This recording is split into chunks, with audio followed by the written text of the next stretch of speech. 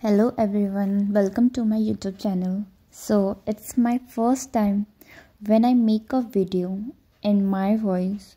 So, today's video is all about mini momos recipe. So, let's get started.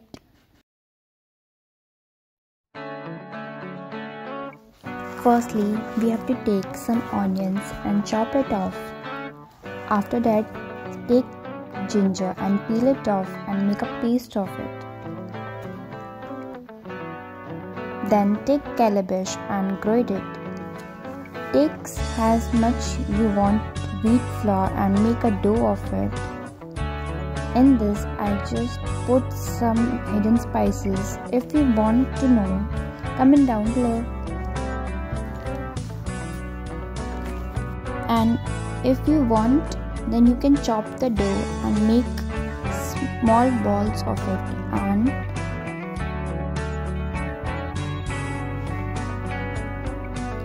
and with the help of rolling pin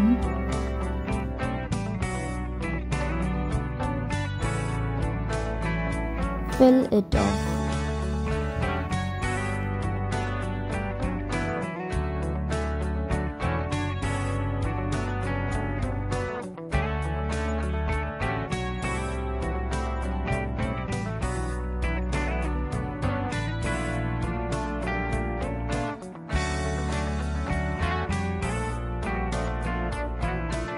Here your momos is ready.